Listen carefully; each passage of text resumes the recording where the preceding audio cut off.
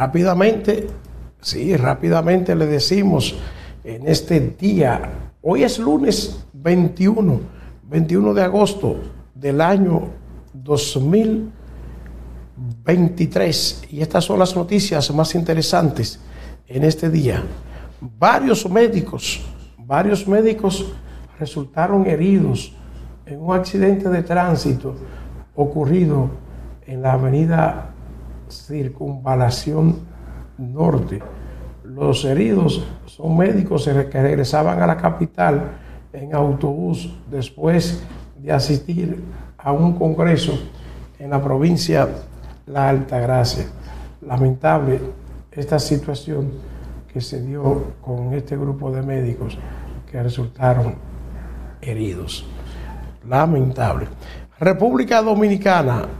República Dominicana se está preparando para recibir el impacto de la tormenta tropical Franklin. Ante el impacto de la tormenta tropical Franklin sobre el país, el Centro de Operaciones de Emergencia colocó 16 provincias en alerta amarilla y 16 en, alerta verde. Para este lunes algunas serán puestas en alerta roja. El fenómeno se desplaza en la actualidad a 19 kilómetros por hora hacia el oeste, noroeste, y luego se espera que dé un giro hacia el norte. Ahí impactará el territorio nacional, según indicó Gloria Ceballos, directora de la Oficina Nacional de Meteorología.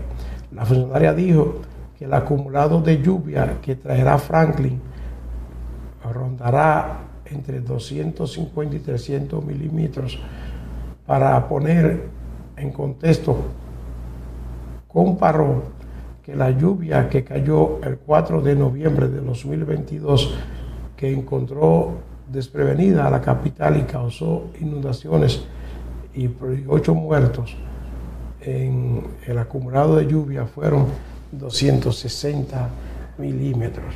Bueno, vamos a esperar a ver que la República Dominicana pueda soportar todo esto. La tormenta Franklin podría generar acumulados de lluvia superiores a los del pasado 4 de noviembre, que fue algo duro que pasó ese día en la capital. Una mujer que sobrevivió a la explosión de San Cristóbal, dice, fue el mismo Dios que me salvó. Rosa María Morillo narró cómo un lunes de aparente calma se transformó para ella y para sus hijas. Duro esto. En Baní, ay, ay, ay matan un hombre y una mujer a tiros allá en Baní. Los fallecidos a consecuencia de heridas de bala son Frangelis Araujo Arias y Roosevelt Adonis Baez Peña, en tanto que el herido es William Hidalgo de Jesús Baez, de 25 años. Le entraron a tiros desde un carro y todavía no se sabe quién fue. Varios médicos, le dije, resultaron heridos en un accidente en la avenida Circunvalación de Santo Domingo. Estos médicos regresaban a Santo Domingo luego de participar en una jornada científica en la provincia La Alta Gracia. Hernández dice que todos los sectores participarán en la reforma educativa. El presidente Abinader declaró mediante decreto 365-23 de alta prioridad nacional y el proceso de reforma y modernización del sector educativo a nivel preuniversitario el 17 de agosto del presente año. Ahí anda. Capturaron en Santiago a presuntos líderes de microtráfico en Montecristi. Están ahí las autoridades haciendo su trabajo.